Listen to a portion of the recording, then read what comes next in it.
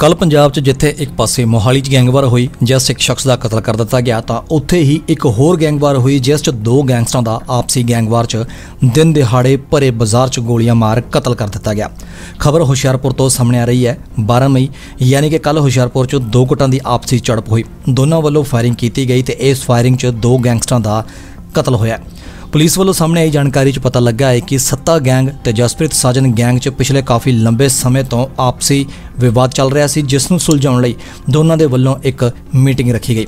ਇਹ ਮੀਟਿੰਗ ਹੁਸ਼ਿਆਰਪੁਰ ਦੇ ਪਿਪਲਾਵਾਲਾ 'ਚ ਰੱਖੀ ਗਈ। ਆਪਸੀ ਰੰਜਿਸ਼ ਨੂੰ ਸੁਲਝਾਉਣ ਦੀ ਥਾਂ ਤੇ ਦੋਨੋਂ ਆਪਸ 'ਚ ਉਲਝ ਗਏ, ਜਿਸ ਮਗਰੋਂ ਦੋਨਾਂ ਨੇ ਆਪਣੀ ਆਪਣੀ ਗੈਂਗ ਦੇ ਮੈਂਬਰਾਂ ਨੂੰ ਫੋਨ ਕੀਤਾ ਤੇ ਸਾਥੀ ਇਕੱਠੇ ਕਰ ਲਏ।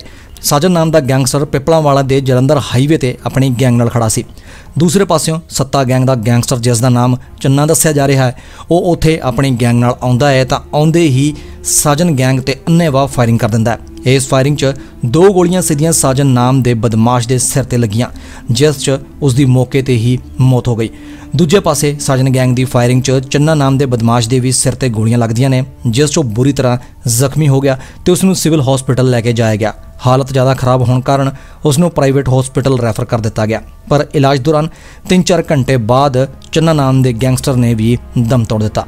ਇਹ ਗੈਂਗਵਾਰ ਦੀ ਸੀਸੀਟੀਵੀ ਵੀ ਸਾਹਮਣੇ ਆਈ ਹੈ। ਪੁਲਿਸ ਵੱਲੋਂ ਮਾਮਲਾ ਦਰਜ ਕਰ ਲਿਆ ਗਿਆ ਹੈ ਤੇ ਸੀਸੀਟੀਵੀ ਦੇ ਸਹਾਰੇ ਬਦਮਾਸ਼ਾਂ ਦੀ ਪਹਿਚਾਣ ਕੀਤੀ ਜਾ ਰਹੀ ਹੈ।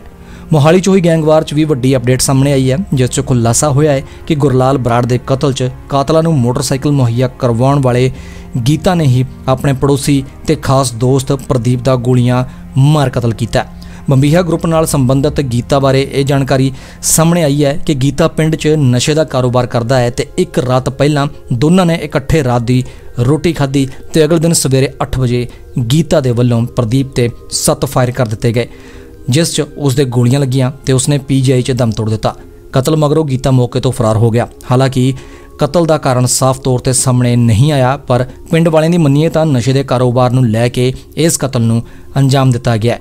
ਗੀਤਾ ਕੁਝ ਸਮਾਂ ਪਹਿਲਾਂ ਹੀ ਬੜੈਲ ਜੇਲ੍ਹ ਤੋਂ ਜ਼ਮਾਨਤ ਤੇ ਰਿਹਾ ਹੋ ਕੇ ਬਾਹਰ ਆਇਆ। ਬਾਕੀ ਇਸ ਕ੍ਰਾਈਮ ਰਿਪੋਰਟ ਨਾਲ ਲੈਣੇ ਹੁਣ ਇਜਾਜ਼ਤ ਤੇ ਮਿਲਦੇ ਹਾਂ ਕਿਸੇ ਹੋਰ ਅਪਡੇਟ ਨਾਲ। ਉਦੋਂ ਤੱਕ ਜੁੜੇ ਰਹੋ ਚੈਨਲ ਪੰਜਾਬੀ ਮੂਵਜ਼ ਅੱਡਾ ਦੇ ਨਾਲ।